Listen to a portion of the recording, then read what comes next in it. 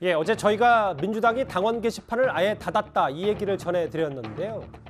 예전에 이명박 전 대통령을 비하하는 게시물을 올렸다가 중징계를 받았던 이 판사 출신 이정열 변호사가 어, 민주당 후보 측으로부터 고발을 당했습니다.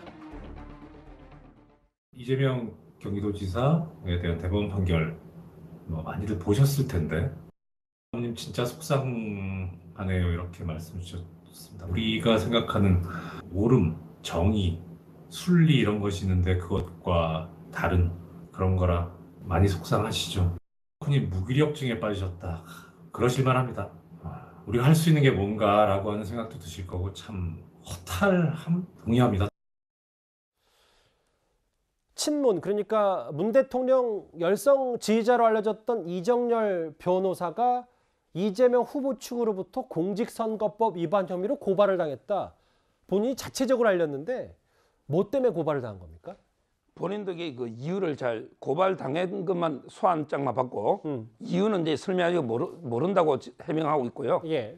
제가 이제 그 이정열 이분이 판사 때 제가 재판도 받아보고 얼마 전에 그 변호사로서 라디오 방송도 같이 했는데 예. 이분이 확실한 친문인데 문제는 이제 그 김혜경 씨 있잖아요. 예. 그 해경군 김 씨 사건 그때 그 고발 단체 대표를 맡아서 계속 고발했거든요.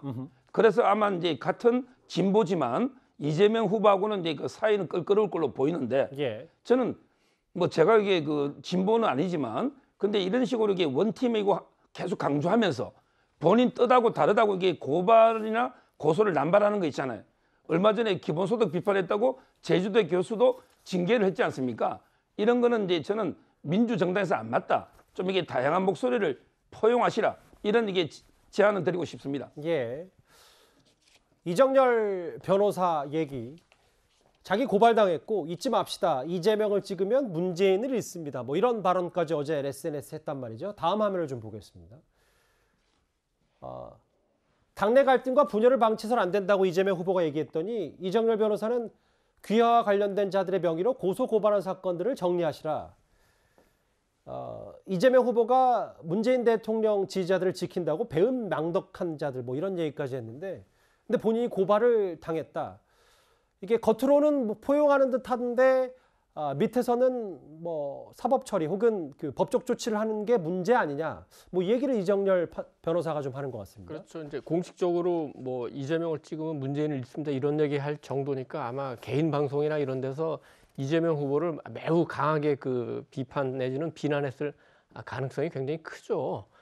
근데 이제 이 문제는 뭐 왜 중요하냐면은 아니 그러면 여전히 그 저기 저 이재명 후보가 민주당의 대통령 후보로 선출됐는데도 아, 마, 친문 핵심들은 여전히 그 이재명 후보에게 마음을 열지 않는 것인가?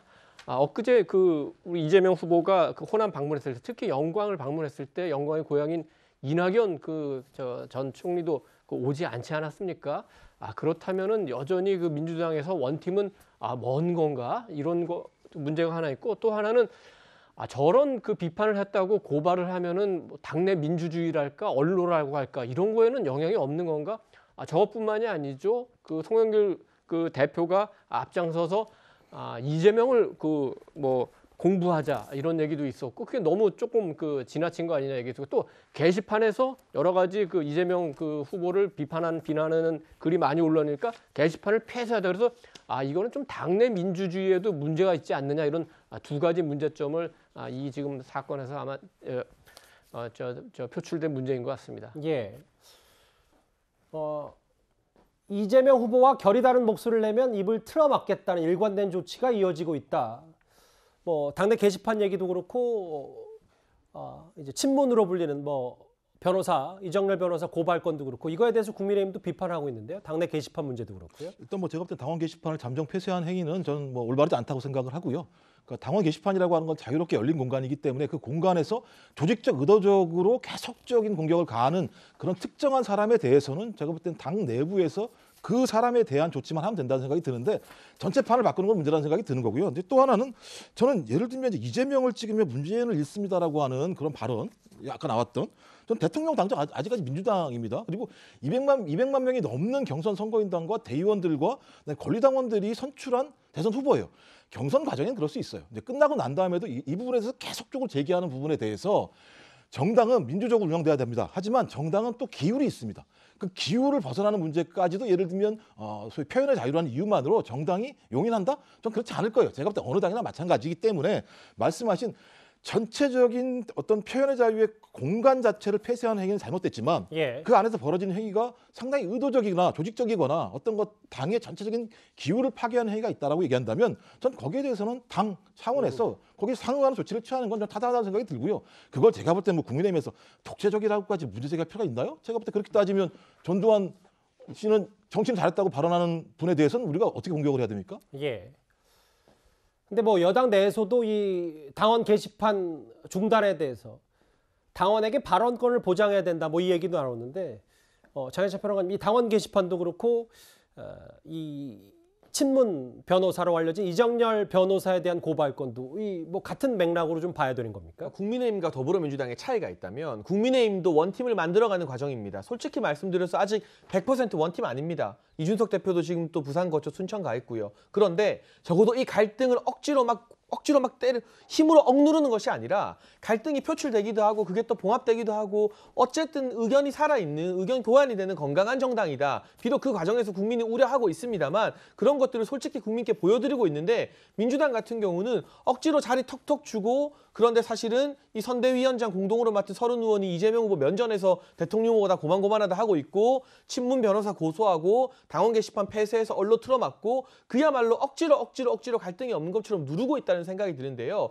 이렇게 눌린 갈등이 한번 터지게 되면 훨씬 더 걷잡을 수 없이 폭발할 수 있다는 점 차라리 갈등을 솔직하게 드러내고 봉합하는 그런 과정이 필요할 수도 있다는 점을 한번 명심해 봐야 될 것 같습니다. 이재명 후보 측에 고발을 당한 이른바 친문 변호사 얘기를 만나 봤습니다. 이 소식은 여기까지입니다. 그러면 지금까지 들은 여러분들의 목소리를 만나보겠습니다. 첫 번째 댓글입니다.